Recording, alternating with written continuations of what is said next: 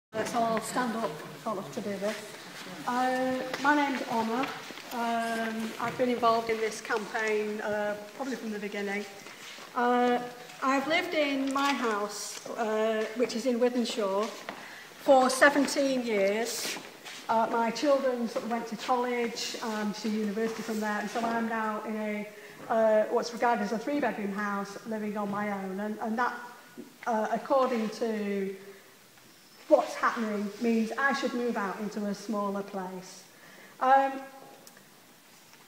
I've been suffering from post-traumatic stress disorder for quite a number of years, and that has uh, specific effects on um, my emotional well-being, basically. Uh, it's an extremely distressing thought to have to move from where I'm living. Uh, I can't actually, my children all live in London, and I can't actually get accommodation in London. And one, it would be too expensive to go to London. Uh, my local landlord has offered to dump most of my stuff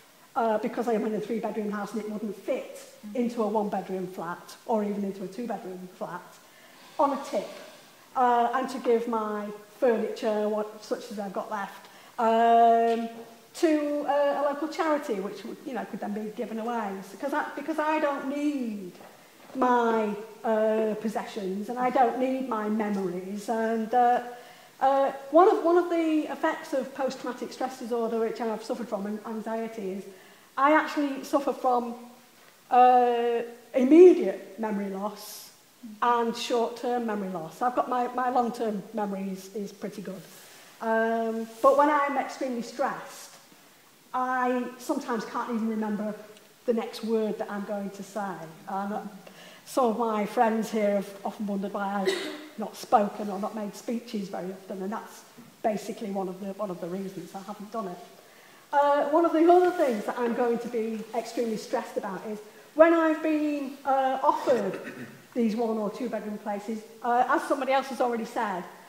uh, it means you have to have your pets put down because most of them say you can't have a pet.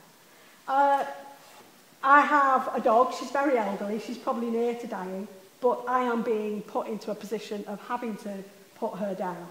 And that is creating absolute torment mm-hmm.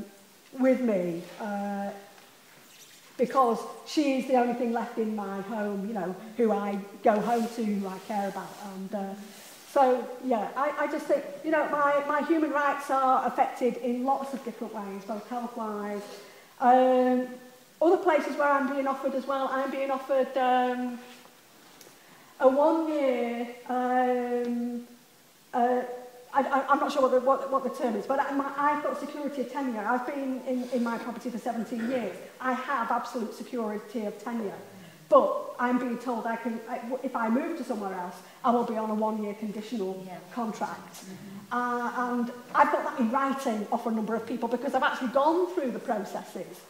of applying and talking to other people about home swaps and that kind of thing. And I have from other landlords that in writing that they are saying to me, I only have a one-year um, conditional uh, tenancy.